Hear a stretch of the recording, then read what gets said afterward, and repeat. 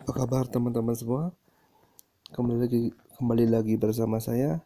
Kali ini saya kedatangan sebuah handphone dari Batam, yaitu Sony Xperia Z3. Apa saja keunggulannya? Mari kita review bersama-sama. Untuk teman-teman yang belum subscribe channel ini, saya mohon untuk tekan subscribe dan nyalakan loncengnya agar tidak ketinggalan video terbaru dari saya. She works the night so far away from her father's daughter. She just wants a life for a baby. All on her own, no one will come. She's got to save him. Daily struggle. She tells him, "Ooh, love, no one's ever gonna hurt you, love. I'm gonna give you all of my love." Nah, ini adalah penampakan dari Sony Xperia setnya. Di bagian atasnya terdapat lubang handset dan mic. Di bagian bawah tidak ada apa-apa, polos gitu.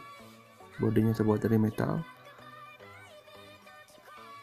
Di bagian kirinya terdapat magnetic charger dan port USB. Kita saya akan buka, saya tunjukkan. Di bagian kanannya terdapat tombol power khas Sony, tombol volume dan tombol shutter kamera buat foto.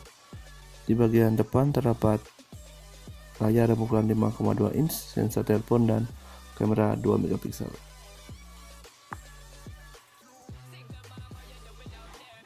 Ini adalah tempat kartu dan memorinya.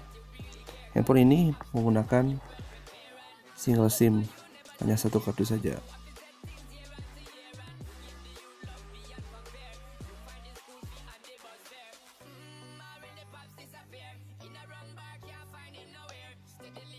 Ini adalah port USB nya. Kenapa handphone ini tutup rapat? Karena handphone ini katanya tahan air. Karena saya membeli handphone ini second saya ragu untuk masuknya ke dalam air. Takutnya ntar masuk airnya. Android handphone ini sudah menggunakan Android Marshmallow yaitu 6.01 saya bingung dengan Sony Xperia Z3 ini karena sinyalnya sangat lemah sekali menurut saya dibandingkan handphone Fujitsu yaitu Sony eh Fujitsu. Handphone ini sinyalnya hanya mendapatkan satu bar sedangkan handphone Fujitsu saya yang saya beli sampai sejutaan sinyalnya, sinyalnya full. Padahal providernya sama teman-teman bisa lihat deh saya tunjukkan. Sini saya menggunakan kartu XL teman-teman bisa lihat perbedaan sinyalnya.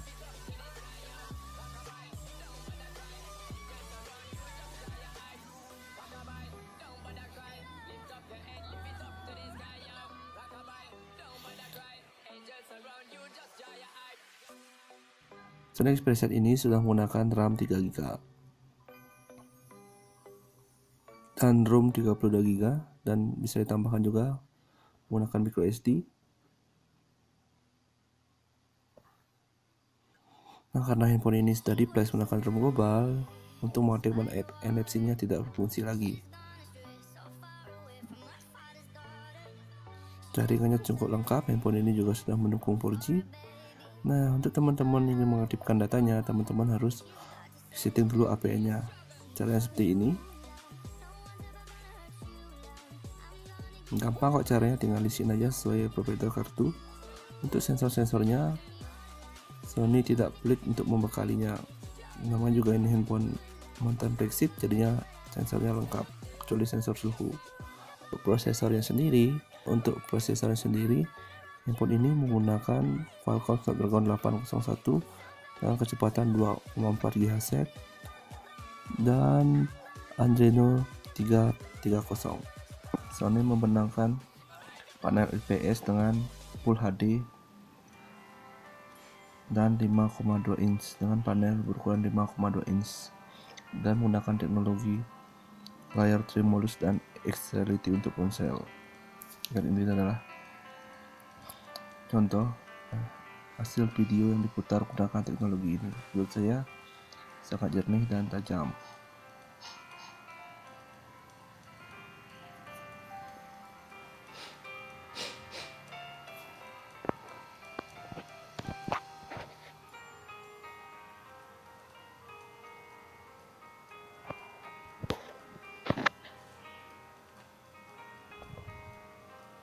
dan di bagian atas tombol sini ada lubang yaitu adalah sebuah speaker stereo. Di mana lagi dapat HP sejutaan dengan speaker stereo seperti ini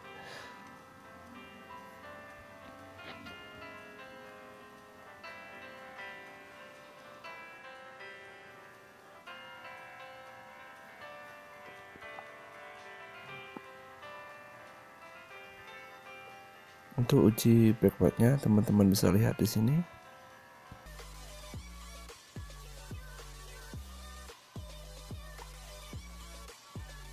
Banyak yang bilang handphone ini, handphone Sony Xperia Z Docomo ini adalah terkenal dengan handphone B7000-an. Saya nggak tahu maksudnya apa itu B7000-an. Mohon tulis di komen ya.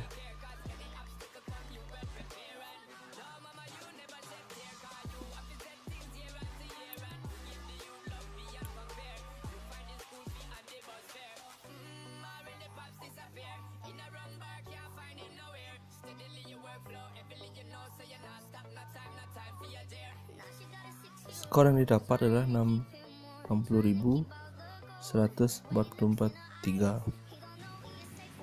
dari uji pengmainnya untuk bermain game menurut saya ini sangat lancar. Apalagi cuma game Mobile Legend tapi ada hal yang sangat disayangkan karena sinyalnya tadi saya bilang naik turun terjadinya lag saat main game akibat sinyal yang lemah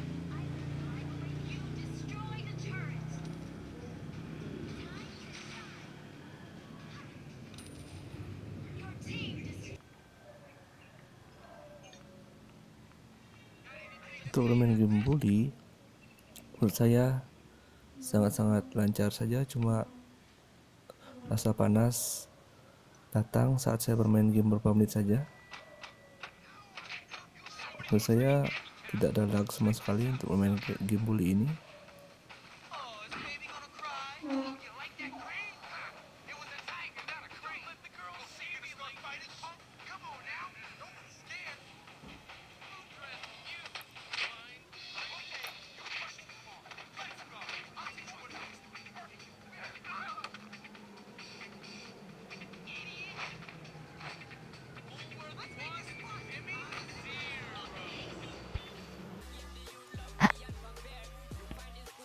dari segi kamera Sony Xperia saat ini lumayan cukup lengkap. Karena kalian harus mengaturnya ke mode manual, manual dulu agar bisa menggunakan sampai 20,7 megapiksel. Dan ini adalah pengaturan cahayanya. Dan ISO sampai 800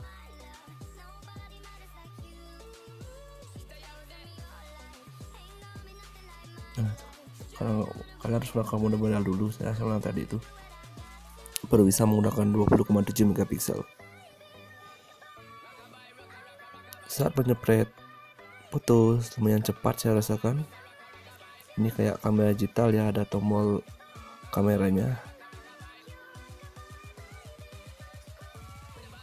Dan untuk rekam videonya sangat lengkap juga.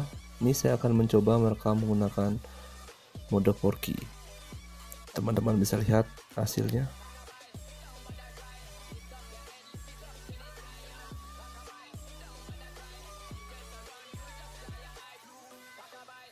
Dan untuk kamera depannya menggunakan 2 megapiksel. Lumayan bagus menurut saya. Nanti akan saya tunjukkan hasil-hasil fotonya untuk lebih detailnya. Ini adalah kamera depannya ini juga kamera depan. Ini kamera belakang. Ini juga kamera belakang. Dan ini adalah video 4K yang tadi saya rekam menggunakan handphone ini. Teman-teman bisa lihat dan nilai sendiri hasilnya gimana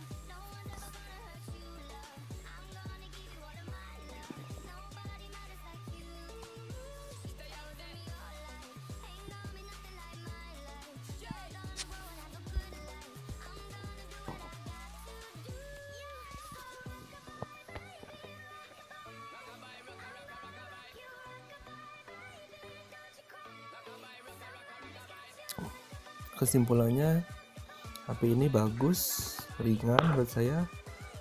Tapi ada kendala uh, karena sinyalnya yang agak naik turun itu membuatnya jadi terasa sangat minus sekali untuk dibawa. Sekian dari saya terima kasih